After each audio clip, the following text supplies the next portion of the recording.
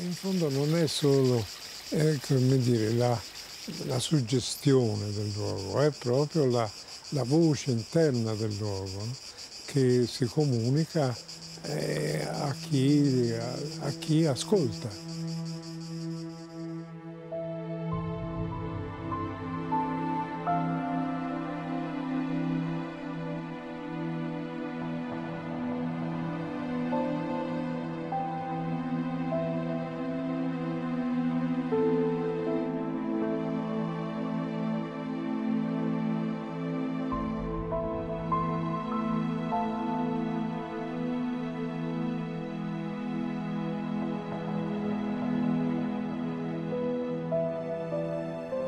Mario Luzzi, a 100 anni dalla nascita, a quasi 10 dalla sua scomparsa. Ricordano il poeta oltre l'amatissima Firenze, la femminile Siena degli anni dell'infanzia e dell'adolescenza, la stupefacente Pienza dei suoi tardi ristori estivi, Castello, il quartiere periferico di Firenze, allora frazione di Sesto Fiorentino, dove Luzzi, il figlio del capostazione Ciro e di Margherita Papini, nacque il 20 ottobre 1914 il grossetano Semprognano, allora San Prugnano, il paese natale dei genitori, il larico magico e un po' selvaggio luogo delle origini. Ricorda il poeta la Toscana tutta, lo ricorda con la Toscana il mondo, ed è bello immaginare convocati insieme, uniti nel ricordo, tutti i luoghi e tutti i tempi della vita di Luzzi. Insieme, dalle foci alle sorgenti, come fossero le acque di uno stesso fiume che continua, grazie alla poesia, a scorrere, permettendo alla nostra barca di viventi, il cui nocchiero è rimasto in realtà saldamente al nostro fianco, vigile e premuroso, di vedere il mondo, di coglierne il sospiro profondo. Amici, ci aspetta una barca e dondola, nella luce ove il cielo si inarca, e tocca il mare. Volano creature pazze ad amare il viso di Dio, caldo di speranza, in alto, in basso, cercando affetto in ogni occulta distanza, e piangono. Noi siamo in terra, ma ci potremo un giorno librare, esilmente piegare sul seno divino, come rose dai muri nelle strade odorose, sul bimbo che le chiede senza voce. Amici, dalla barca si vede il mondo e in lui una verità che procede intrepida, un sospiro profondo, dalle foci alle sorgenti.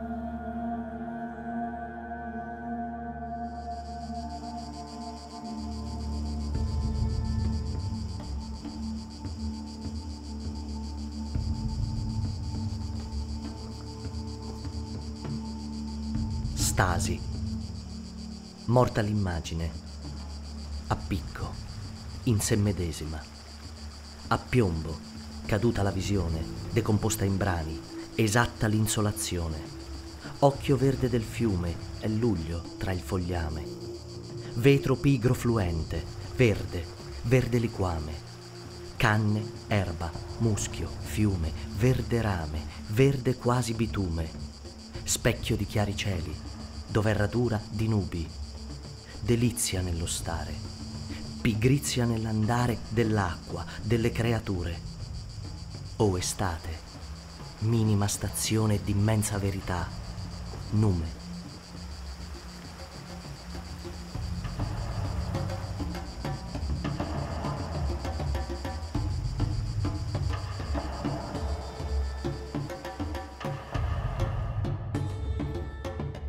È la mia acqua. Eh, l'acqua c'è molto nelle mie, nelle mie poesie, soprattutto quella dei fiumi. Già nella barca ci sono dei versi che iniziali sull'Arno, no? Poi l'acqua dei fiumi eh, mi pare sia presente in tutti gli altri volumi. L'acqua dei fiumi dove io vedo lo scorrere della vita, ma anche il permanere della vita che si rinnova ma è sempre la stessa, è sempre se stessa. Compiuto il vasto giro, s'apre il respiro, si dilata, mentre scendo senza più divagare, giù diretto, verso Firenze che mi chiama. È specchiata già essa, lo sento, nell'acqua che le mando con fedeltà, prodigalmente o scarso, ma aspetta ancora, non è sazia. Ne sono contento io e seguito il mio afflusso. Vado sopra le sassaie, rasento i miei ristagni, li supero, non voglio che le manchi. Lo so, presto dovrò, Firenze, sciogliermi dal tuo abbraccio, perderne il caldo tanfo, diletto e dispiacere avuti in cambio del mio dono li seminerò lungo il percorso, finché forse non saranno per me stati neanche. Però questo, e non altro, è il lavoro della vita, tutta agita, tutta cancellata, e tutta in teche astrali sovranamente custodita, spero.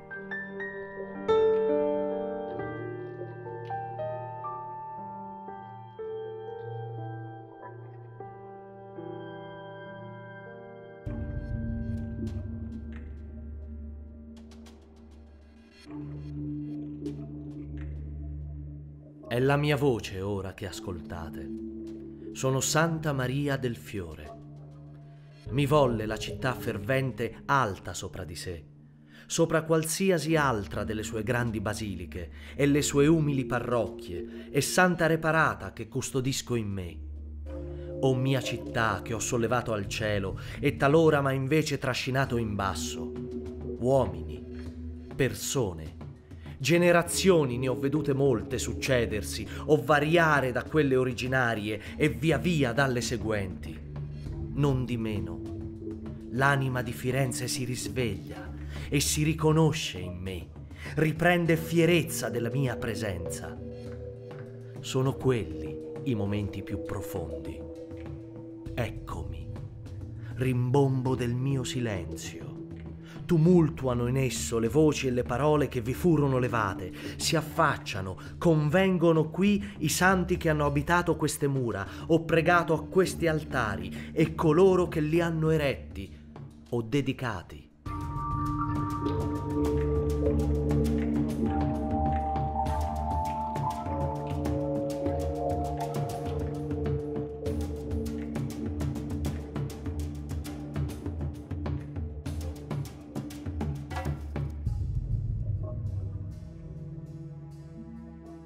La presenza della pietra a Firenze è trionfale. È sì la materia prima scesa dalle cave dei primi monti a settentrione per innalzare le sue fabbriche, costruire le sue case, lastricare le sue strade, ma il servizio a cui è stata piegata, la moltitudine delle funzioni per le quali è stata squadrata e frammentata, non impediscono alla pietra di ricomporsi in un universo minerale dentro il quale quello vegetale e quello animale sono annidati. In certe situazioni atmosferiche e in certi tagli della luce ho visto Firenze come una rupe, sopra la quale giravano il sole e la luna. La pietra vive. L'opera a cui è stata servita non le ha tolto né la vita né la sensibilità agli avvenimenti mutevoli della terra e del cielo. Così essa cangia e manda riflessi variabili sotto la pioggia e inzuppata di acqua piovana raggia nella sua schiarita e si annerisce quando la luminosità si spenge per la nebbia e si inasprisce come carne irritata sotto il vento di tramontana e fa una massa oscura e romita sotto il plenilunio. L'acqua piovana illumina la pietra serena, vi suscita riflessi azzurrognoli, ma infittendosi incupisce le moli, le rende anche più arcigne e inospitali. Allora anche i marmi, che a Firenze non sono poi tanti e quasi tutti ammontati nella grande montagna di Santa Maria del Fiore, si abbuiano. L'acqua ingentilisce o dilava la città la esalta nella sua vivezza cangiante o l'annulla, la spoglia della sua storia, la rifonde con la rude natura dalla quale è uscita. Come spicca e come si vanifica a Firenze l'orgoglio dell'opera umana.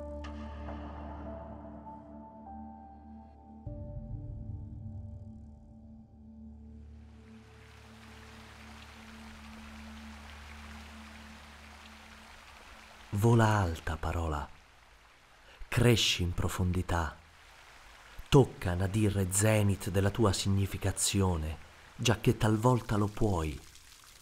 Sogno che la cosa esclami nel buio della mente, però non separarti da me. Non arrivare, ti prego, a quel celestiale appuntamento da sola, senza il caldo di me, o almeno il mio ricordo, sii luce, non disabitata trasparenza. La cosa è la sua anima, o la mia è la sua sofferenza.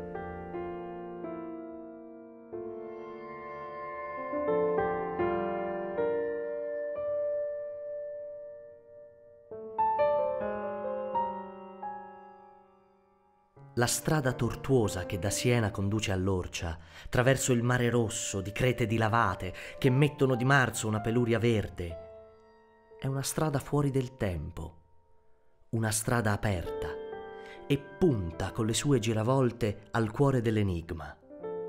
Reale o irreale, solare o notturna, assorti ne seguivano il lungo saliscendi di padre in figlio i miei vecchi con un presagio di tormento reale o irreale, solare o notturna, interroga negli anni la mente. La Valdorcia non è alle porte di Siena, ma è nel paesaggio senese, fa parte del grande paesaggio senese. Paesaggio fisico e metafisico insieme, con il fondo il Monte Amiata, questa immagine pura e sovrana del Montamiata, Montamiata come una montagna luminosa, come quella di Cézanne, no? E quindi la Valdorcia è diventata un, un ingrediente, se vogliamo, fondamentale dei miei riferimenti eh, visibili, paesistici, che non sono necessariamente legati, ma in fondo li, ci riconosco sempre quelle linee, quelle fughe di, di, di linee, eh, quei profili che lo caratterizzano.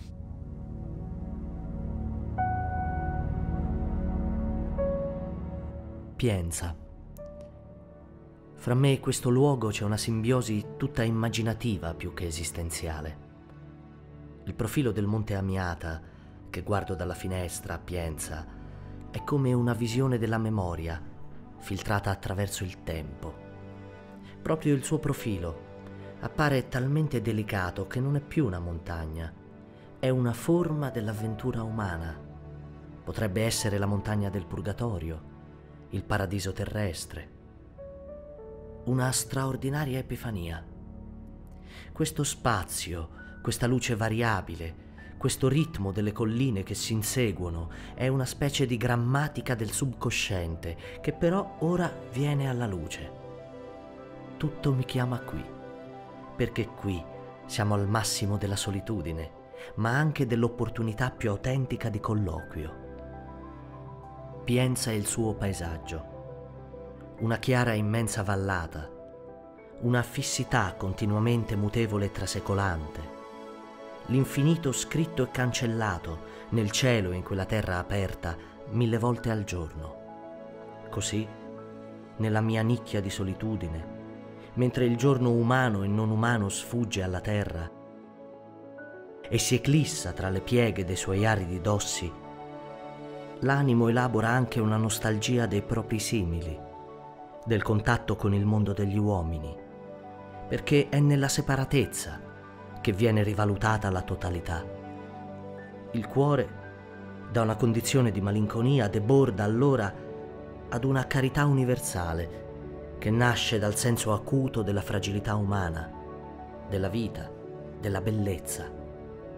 E tutto ciò è attesa, promessa.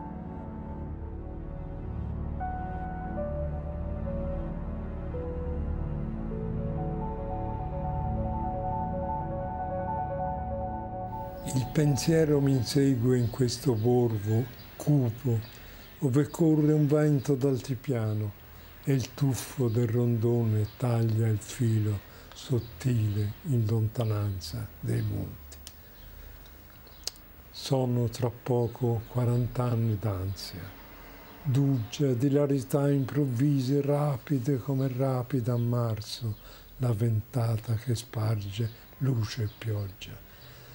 Sono gli indugi, lo strappo a mani tese dai miei cari, dai miei luoghi, abitudini di anni rotte a un tratto che devo ora comprendere.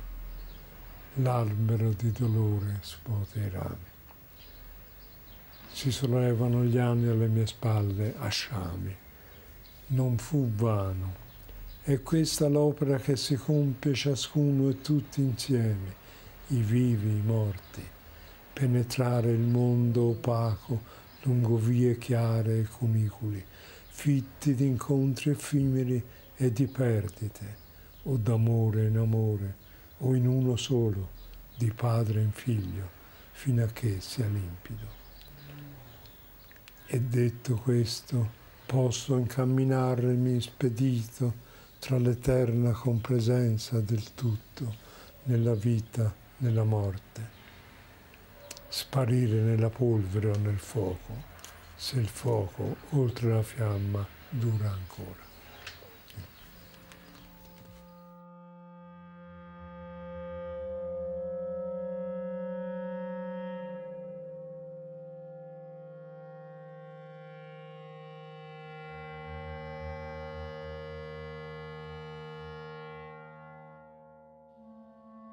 Ci vorrebbe più pace, o almeno più arte, dico al parroco di San Prugnano con molto rammarico, mentre guardo la carta intitolata ai santi Vincenzo ed Anastasio della sua lettera in evasa, con l'amabile richiesta di versi in onore del paese, in lode dell'alveare umano petroso vegetale da cui resto lontano, di cui pure sono parte. Dio sa se vorrei comporre una pagina tutta luce e niente equivoca sostanza di passato, miniata più che scritta, come le tavole lampanti misteriose dei sillabari. Sarebbe veramente splendido. Del resto, per i figli come me della diaspora, il paese, a pensarlo in lontananza, si arrocca nella sua fitta compagine, nella sua memoria comune, nella sua comunione del presente, realtà profonda fino ad una profondità di favola, simile a tutto ciò che ci stupisce. E non è altro che la vita, la vita medesima.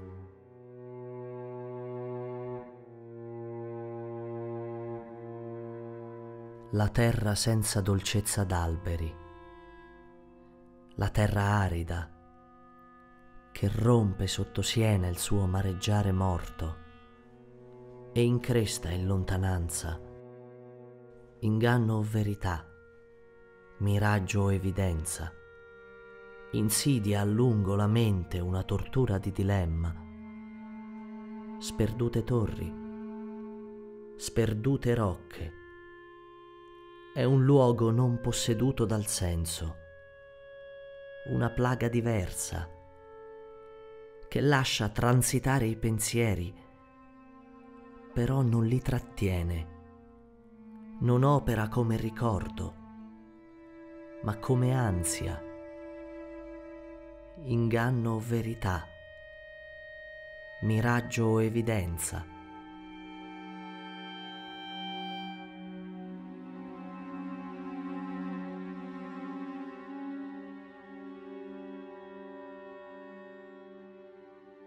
mi guarda Siena, mi guarda sempre dalla sua lontana altura o da quella del ricordo. Come naufrago, come trasfuga, mi lancia incontro la corsa delle sue colline, mi sferra in petto quel vento, lo incrocia con il tempo, il mio, dirottamente, che le si avventa ai fianchi dal profondo dell'infanzia e quello dei miei morti e l'altro d'ogni appena memorabile esistenza.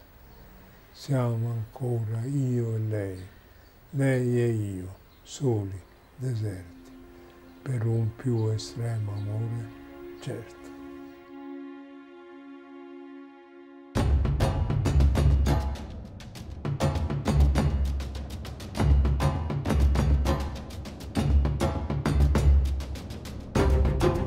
Finché nel furore policromo del bruciante mulinello mi guarda Siena da dentro la sua guerra, mi cerca dentro con gli occhi addannati dei suoi veliti, percossa dai suoi tamburi, trafitta dai suoi vessilli e non vede me.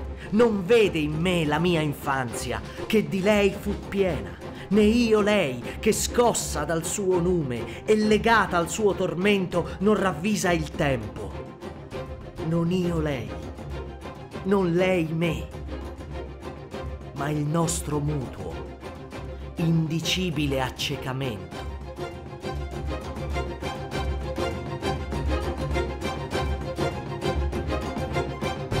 Io ho notato come sono compresenti anche nella mia maturità, insomma, cose adolescenziali, emozioni, sentimenti e anche infantili, se vogliamo. Potrei appunto esemplificare più esplicitamente con il viaggio terrestre celeste di Simone Martini, che è appunto un'opera che si è sviluppata al di là della sua programmazione, no? che non c'era una programmazione preliminare, ma al di là di questo proprio si è sviluppata su emozioni, su incanti, su incanti che avevo provato a Siena quando ero adolescente.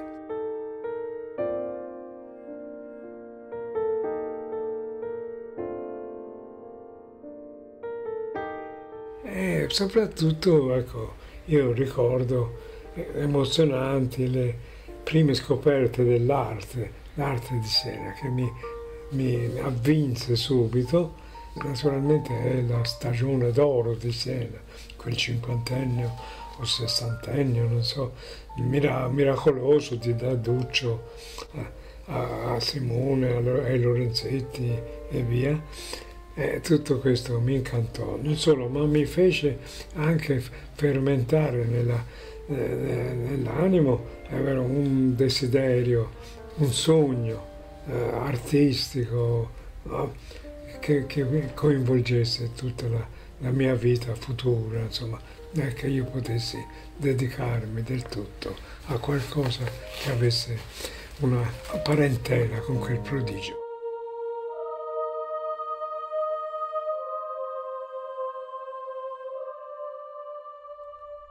rimani dove sei. Ti prego, così come ti vedo. Non ritirarti da quella tua immagine, non involarti ai fermi lineamenti che ti ho dato io solo per obbedienza. Non lasciare deserti i miei giardini d'azzurro, di turchese, d'oro, di variopinte lacche dove ti sei insediata e offerta alla pittura e all'adorazione non farne una derelitta plaga, primavera da cui manchi, mancando così l'anima, il fuoco, lo spirito del mondo.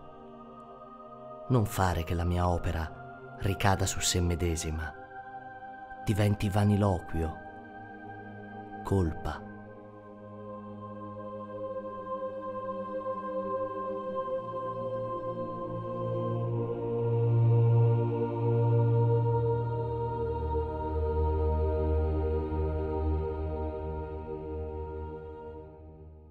Sia come sia, più o meno pro, fertile o più o meno stenta, è la mia vita, insomma, non saprei immaginarne un'altra. E scrivo appunto per questo, perché non saprei immaginare una vita che non abbia un'espressione di se stessa, che non si, che non si eh, non, so, non solo non si rifletta, ma che non si spieghi proprio attraverso le parole che la definiscono, che la, che la, che la analizzano, che la, che la eh, interpretano. Ecco, senza questo linguaggio, ecco, che è una vita al quadrato, penso, no? rispetto alla vita quotidiana, ecco, io non saprei, ecco, saprei essere vivo, voglio dire.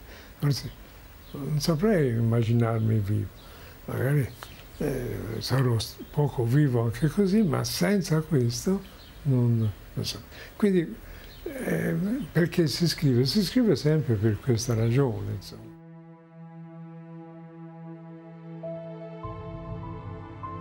Dove mi porti, mia arte? In che remoto, deserto territorio a un tratto mi sbalestri? In che paradiso di salute, di luce, di libertà, arte per incantesimo mi scorti? Mia? Non è mia questa arte. La pratico, la affino, le apro le riserve umane di dolore. Divine me ne appresta lei di ardore e di contemplazione nei cieli in cui mi inoltro